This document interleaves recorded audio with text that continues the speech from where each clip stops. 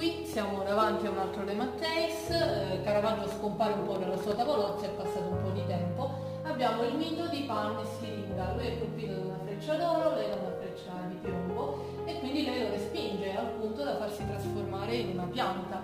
E Pan deciderà da questa pianta sette canne e creerà il suo flauto, appunto il flauto di Pan. E qui abbiamo una particolarità